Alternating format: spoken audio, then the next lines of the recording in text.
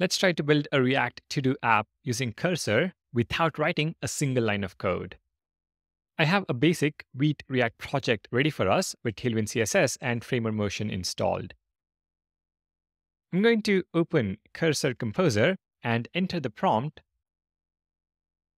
Add a to-do app to the project with a form and list below it. The form should have an input and a button to add a to-do item. The list should have to-do items that can be marked as done. Also have the ability to edit and delete items in the list.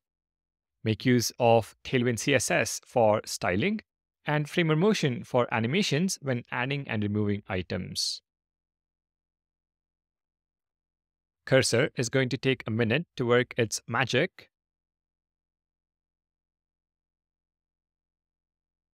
And we can see the changes in the project.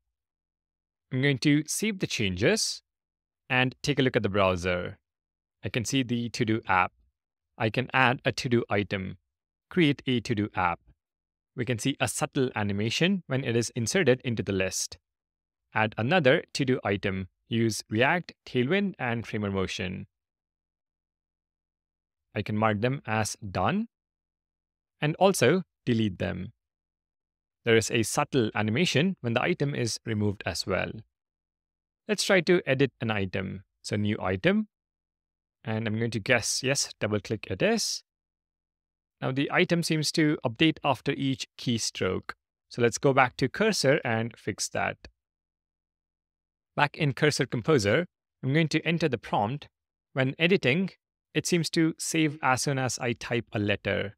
It should save after I press enter.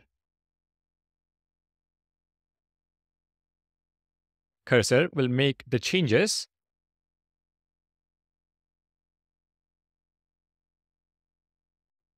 And we can click on Save All. Back in the browser, I can double click to edit the item, and I can see that the item updates after I press Enter. We have a fully functioning to-do app with great styling and subtle animations. Something that would have taken me an hour to build took Cursor three minutes.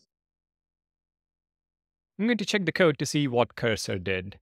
It created a to-do interface, created state variables for the list, input, and item being edited, functions for adding, toggling, deleting, and editing a list item. We see animate presence for the animations and rest of the JSX. For this video, I chose a to-do app because it's the UI equivalent of the Hello World program. I am going to show you how to build plenty more apps with Cursor in the future. If you have a suggestion for what mini app to build next, please leave a comment.